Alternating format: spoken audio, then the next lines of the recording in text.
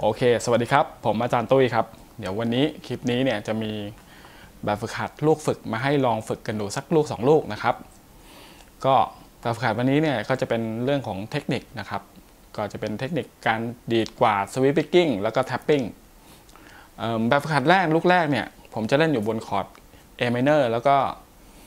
เล่นแบบ sweeping แล้วก็มีการ tapping ร่วมด้วยนะครับ เดี๋ยวเล่นแบบนี้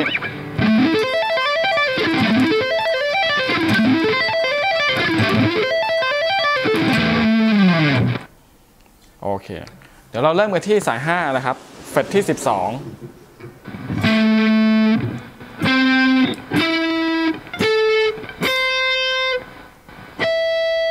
ต่อไปครับ ใช้มือขวาแท็บนะครับเฟรตที่ 17พัวอจากนั้นฮัมมออนไปครับ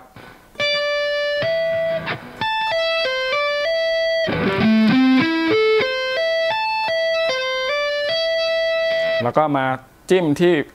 สายหนึ่งเฟสที่ 15 อีกครั้งหนึ่งครับเคลื่อนจาก 17 มาเป็น 15 นะครับ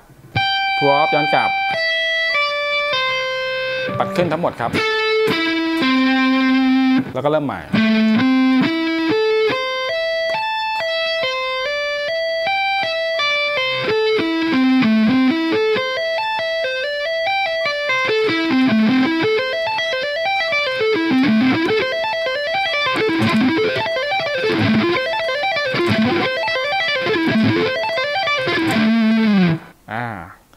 พอเราทับลงไปเนี่ยจากลูก sweeping ธรรมดา มันก็จะทำให้มีสีสันแบบ killer lick มากขึ้นนะครับ แบบหวือหวาขึ้นอีกแบบหลายเปอร์เซ็นต์เลยอ่าโอเค ประมาณนี้สำหรับลูกแรกนะครับ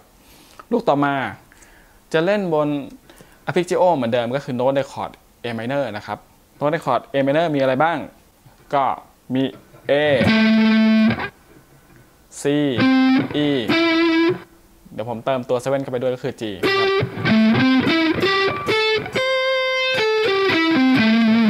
แต่ว่าลูกนี้เนี่ยผมจะใช้การแท็ปปิ้งแทนนะครับ โดยปกติเนี่ย ถ้าเราเล่น arpeggio คอร์ด A minor 7เนี่ย ตรงนี้จะเล่นแบบนี้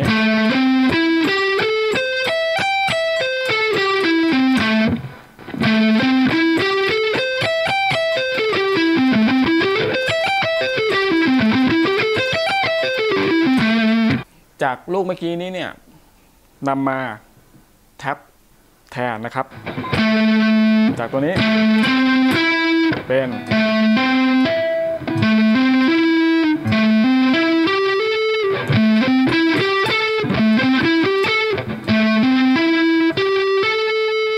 แล้วก็มาแท็บที่สาย 3 ครับ สาย 1 นะครับ 12 15 แล้วก็ 17 นะครับ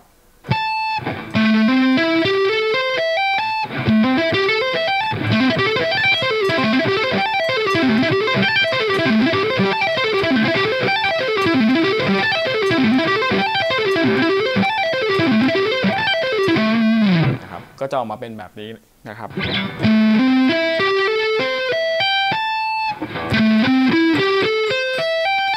เห็นไหมครับเสียงเหมือนกันแต่ว่าพอเราแท็บเนี่ยมันก็จะได้เรื่องความกว้างของเลนส์ของโน้ตมากขึ้นนะครับ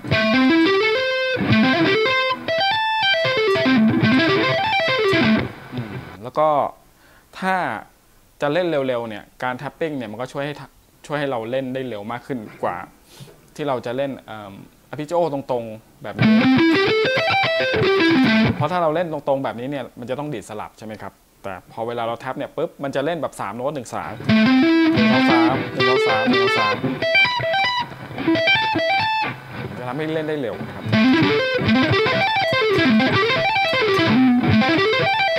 ตรงนี้นิ้วแล้วแต่คนถนัดเลยนะ บางคนอาจจะแบบนิ้วนางถนัดใช่ไหมครับ บางคนถนัดนิ้วก้อย ตรงขึ้นมา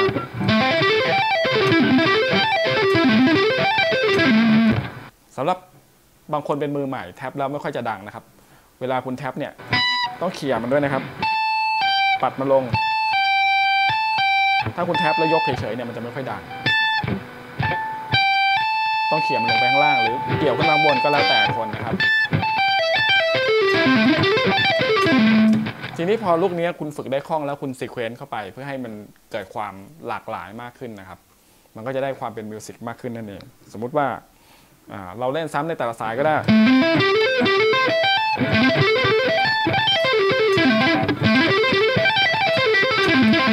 แบบนี้ก็ได้หรือว่าจะเล่นแบบวน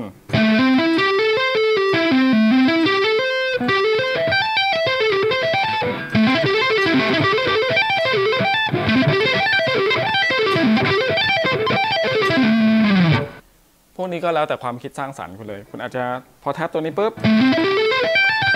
แล้วก็เปลี่ยน voice lead ก็ได้ครับ จาก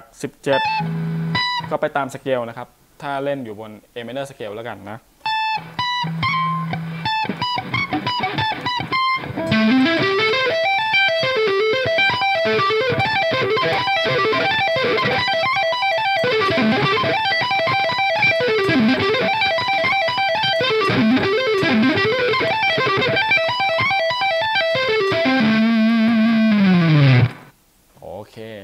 ว่าจะ